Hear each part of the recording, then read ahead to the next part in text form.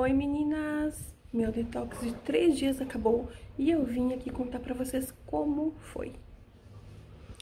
Bom, primeiro quero dizer que eu amei ter feito esse detox. Eu imaginei que eu não iria conseguir e que seria muito difícil, mas não foi. Gente, foi surpreendente, porque eu me sinto outra pessoa, assim, sabe? Com mais energia. Em três dias mudou bastante coisa. Uh, eu tava com muita vontade de comer doce, essas coisas, e parece que, que assim, me deu uma calma. É impressionante, realmente é bem fato mesmo que quanto mais a gente come alguma coisa com açúcar ou farinha, mais a gente quer comer, né? E nesse detox deu pra colocar as coisas em ordem. A gente fez uma faxina, porque eu fui muito no banheiro, gente. Mas, olha, tô, eu tô 3 quilos mais leve tá? Mas não é de peso, porque eu não considero gordura perdida, eu considero retenção de líquidos, tá, meninas? Porque a função do detox não é emagrecer, e sim dar aquele empurrão para continuar a dieta, desintoxicar o organismo e continuar depois fazendo alimentação saudável, tá?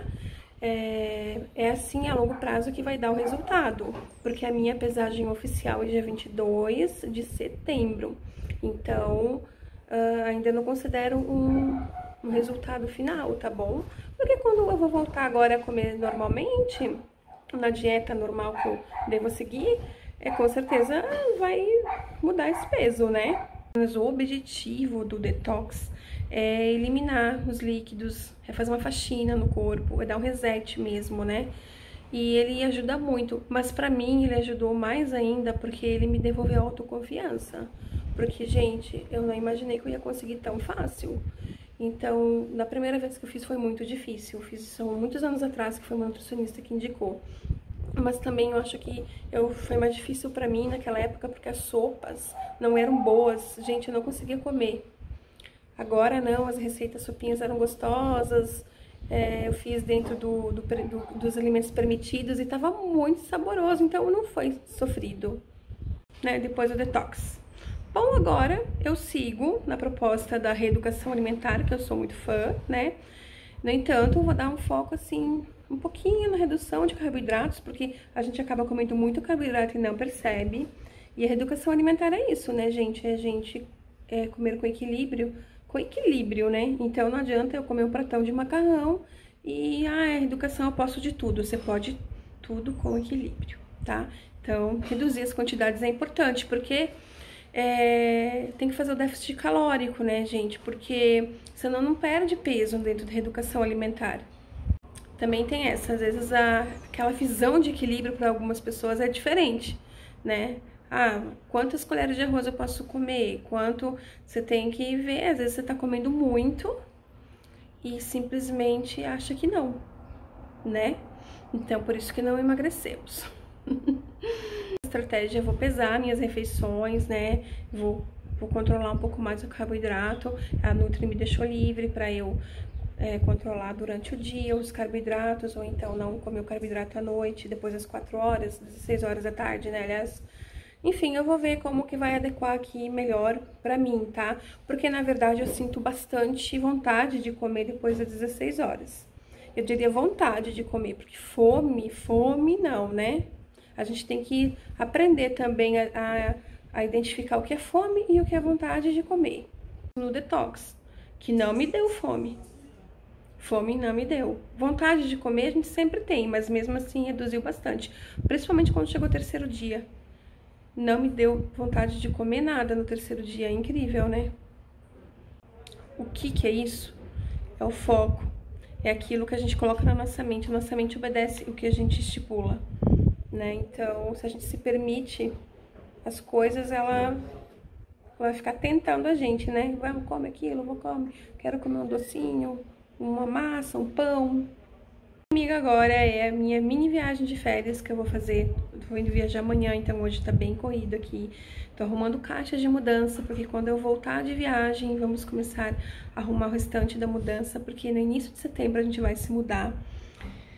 E tô trabalhando tô arrumando a mala, a gente tá suada, né? Porque depois tem que me arrumar, tem que fazer as coisas, tá corrido. Mas eu não podia deixar de vir aqui contar pra vocês, né, sobre o meu resultado no detox.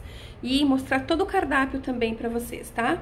Eu prometi a mim mesma que eu vou me comportar nessa viagem, vou comer dentro de um... cuidando do déficit, tudo, vou, eu vou me cuidar. Vou filmar tudo também, pra vocês verem, tá bom? Que agora eu não vou mais sumir daqui, não, vocês não vão se ver livre. Meninas, e olha aqui, ó, a seguir eu vou mostrar o cardápio direitinho que eu fiz pra vocês, tá? Do... dos três dias de detox. E se vocês tiverem dúvidas, pode perguntar aqui embaixo, tá? Na, nos comentários aqui do vídeo. E não esquece, tá? Deixa teu like, é muito importante pra mim. Se inscreve aqui no canal e compartilha com as amigas e vamos seguir juntas. Um beijo. Aguinha morna com limão, que tem meio limão espremido. Começar amanhã a água morna com limão tá aqui. Aqui eu vou fazer meu shot, tá? Onde tem 50 ml de água aqui. Vou colocar umas 20 gotas de própolis, de 20 a 30,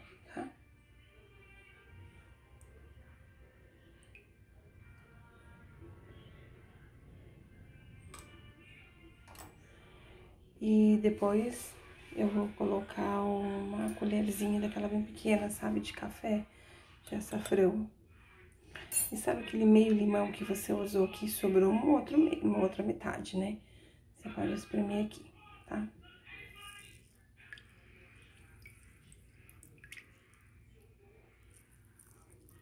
Isso aqui não é muito gostoso não, viu? Mas você tem que tomar numa pegada só.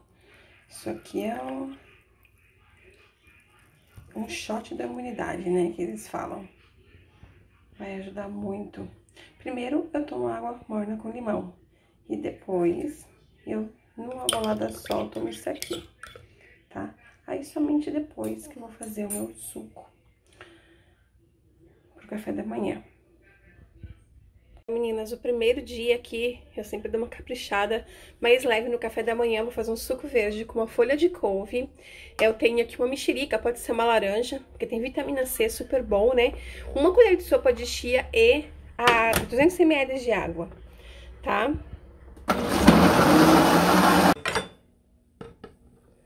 Aqui, tem até uns pedacinhos, eu não vou, eu tomo assim mesmo, tá?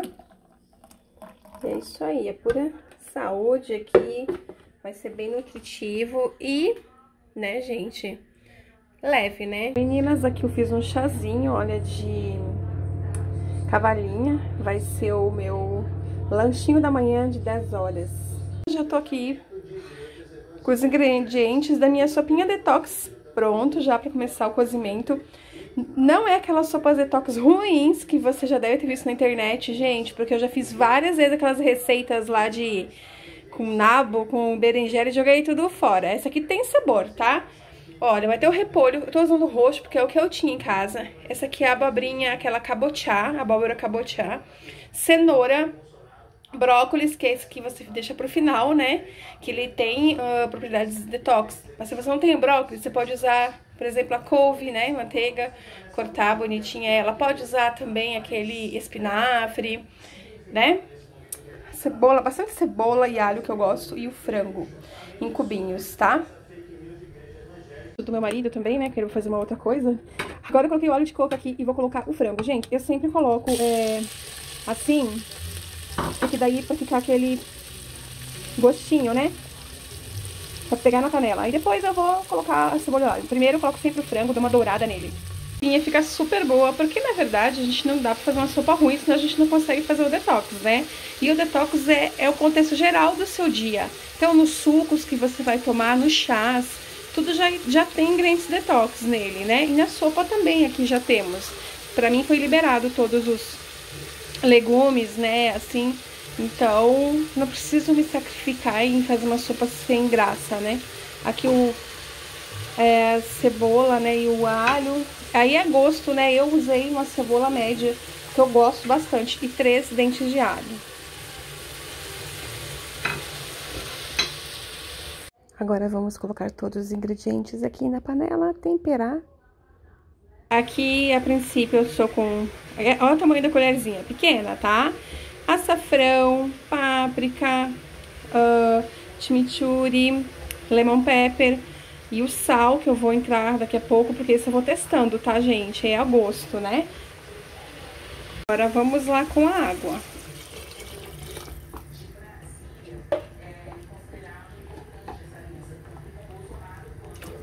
Meninas, vou colocar o brócolis, né? E depois, no final, a salsinha picada. Vou também é, ver como é que tá o sal, né? Acertar o sal e vou colocar pimentinha, tá? Vou colocar do reino mesmo, mas você pode usar calabresa, aquela que você mais gosta. Pimentinha tá ali, vamos esperar cozinhar. Ficou uns 25 minutos e já tá boa. Aí o que, que eu vou fazer nessa sopa, gente? Você pode consumir ela assim, mas eu gosto do caldinho mais grosso, então eu vou pegar uma parte dela, umas 3, 4 conchas, e vou bater no liquidificador pra ficar cremosa. Aí eu jogo junto com o restante que ficou aqui na panela. Ou você pode bater tudo no liquidificador também, se você preferir, e deixar ela mais cremosa. Mas eu não gosto muito, eu prefiro que fique uns pedacinhos, sabe? Então, eu só bato uma parte. Meninas, peguei três colheres, três conchas, né, aliás, da sopa. Peguei mais os sólidos, né, e vou bater no liquidificador, tá? Você vai juntar aqui, olha, que você bater no liquidificador junto. Ui, pingou até aqui em mim. Eu fui cuidando da câmera e vai mexer bem. Vou deixar aqui engrossar um pouco, olha, porque eu gosto assim, cremosinha, olha, já fica com outra cara. Não fica tão líquido, eu gosto. Olha, bem nutritiva essa sopa. Aí depois eu vou jogar aqui a salsinha, vou ver como é que tá os temperos. E pronto. A sopinha pronta. Ficou tão bonita, eu achei ela bem bonita, nossa. Provei, lógico, já adorei, né? Fica cremosa, Eu gosto assim. Não fica assim tão aguada, fica bem legal. E é isso aí, meninas. Bom almoço. Vai ser minha janta também. Meninas, agora são 4 horas da tarde, 16 horas, né? Tô aqui com meu chá de cavalinha. E confesso que eu tô bem, não tô com fome. Meu primeiro dia, né? Então tá tudo certo. A sopa tinha bastante legumes, né? Isso que importa. Bem nutritiva. Esquentando aqui minha sopinha pro jantar. Confesso que hoje, mais no final da tarde, me deu uma dorzinha de cabeça, mas é normal, né, isso, porque o corpo não tá acostumado ainda. Mas daí logo passou. Então, seguindo. Meninas, terça-feira hoje, e eu já tô aqui na função. Já fiz aqui meu shot, já tomei minha água com limão, morna com limão, e esse vai ser o suco de hoje metade de uma maçã, metade de uma cenoura, uma folha de couve e 400 ml de água, tá? Ontem à noite eu senti um pouco de fome e dor de cabeça, mas eu resisti. E hoje eu acordei, como é que pode, né, gente? Não estou com fome, vou tomar o suco porque, né, eu tenho que fazer certinho. Eu acho engraçado isso, porque para ver para vocês perceberem que a fome é meio psicológica, né? Às vezes a gente quer comer uma coisa e depois passa é o autocontrole importante. O detox serve para isso, né? A gente vai sofrer um pouco, mas se persistir vai dar certo. Meninas, aqui ó, fica um verde, um verde escuro. Misturou com a laranja, né? E é isso aqui, meu suco de hoje. Se você quiser também pode bater um pouco é, com chia ou então gengibre, se você gosta. Eu não curto muito gengibre, né? Então, bati só o os legumes e as frutas mesmo. E ficou, ficou gostoso. Terça-feira aqui, meninas, eu tô já no processo de fazer uma sopinha, fazer uma sopa de lentilha, que lentilha tá na lista, né, dos alimentos anti-inflamatórios e também do detox. E com franguinho, vou colocar uns leguminhos. E finalizar com salsinha cebolinha.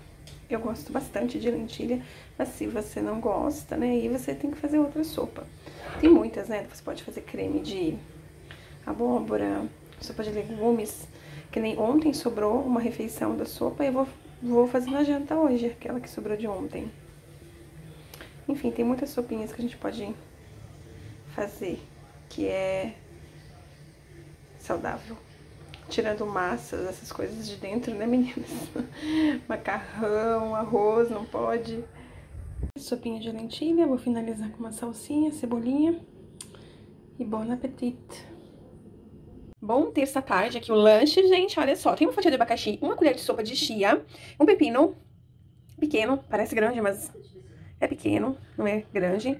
E 100 ml de água. Isso diz a receita, né? Que eu vi, uma receita detox. Mas eu vou testar. Se ficar muito pastosinha, coloco mais água, tá? Vou colocar uns 200 ml. Aí a gente vai driblando conforme deseja, né?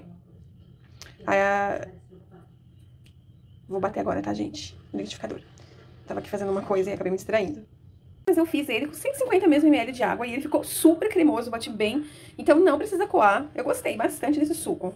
É uma boa opção agora pra dar uma sustância no lanche da tarde, né?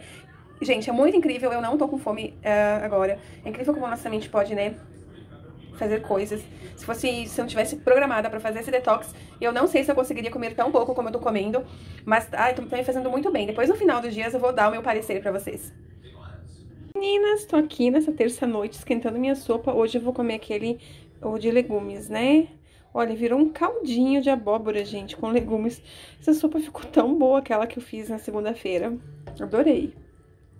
Aí amanhã sobrou é, um pouco de sopa de lentilha. Eu vou ver se vai dar para as duas refeições, que é meu último dia amanhã, né? Senão eu faço uma outra bem rapidinha. Assim, bem boa, saborosa, né? E nutritiva.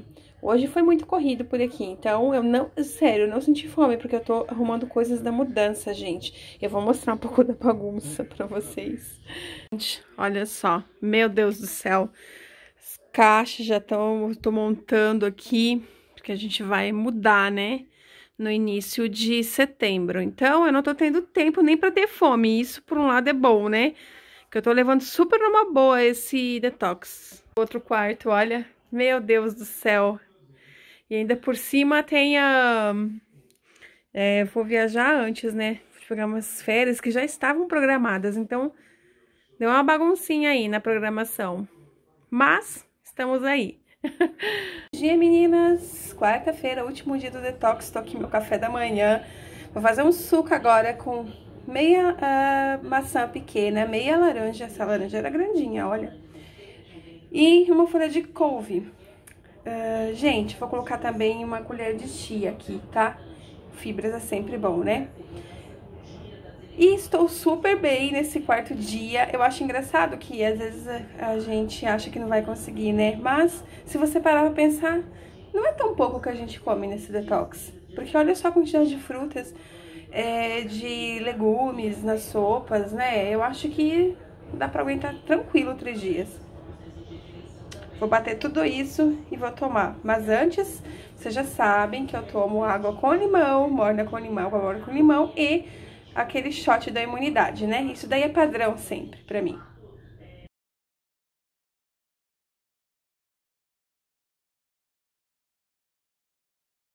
Não sobrou sopa de lentilha para as duas refeições, então eu fiz esse creme de abóbora com frango para o almoço e jantar dessa quarta-feira, que é o último dia de detox. Gente, ficou super bom e é bem fácil de fazer, não tem segredo, né? E é isso aí, vamos que vamos. Finalizando já suco agora do lanche da tarde, nessa quarta-feira e último dia vai ser com pepino, que é bem diurético. Esse aqui é bem diurético. É... Mexerica, que chamamos de bergamota, né? Ou também pode ser meia laranja, morangos, tá? Estavam congelados, descongelei. Aqui vai render umas duas porções, tá? Todo suco que eu faço rende duas porções, tá? Então, não é só pra mim. Vou bater tudo com 200 ml de água. Hum? Gostei, gente. Ficou bem bom. Já até tomei aqui um pouco. E ficou bem, assim, nutritivo e também diurético, né? Pepino, é, a laranja ou a mexerica com o morango. É uma combinação perfeita para pra saúde.